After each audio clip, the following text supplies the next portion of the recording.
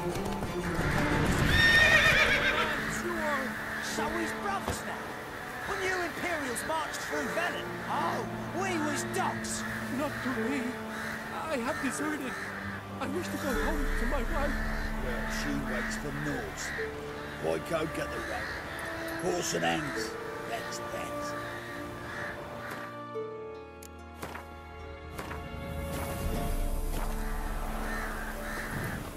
Be gone.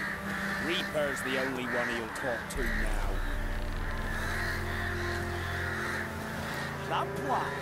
Been eating well, that's clear. What did this man do to you? Him?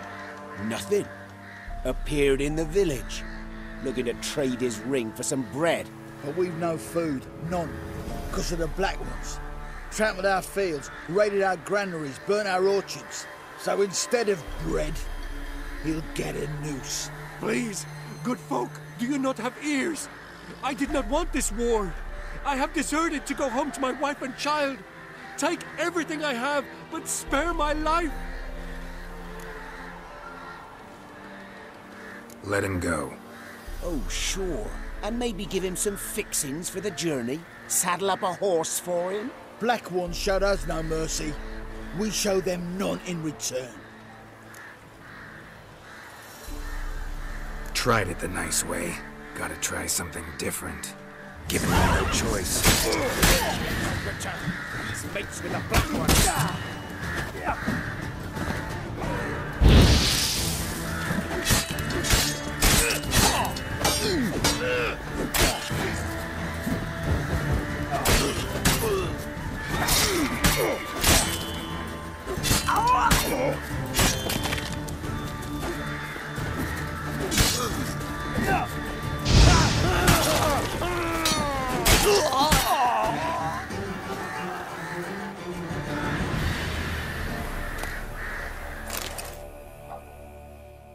Thank you. If you had not come, If I'd not come, only one man would have died. Really going back to your wife? yes. She bore a child just before the war started.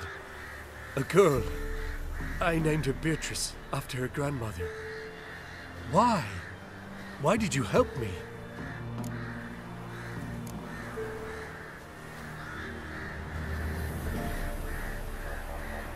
It was the lesser evil.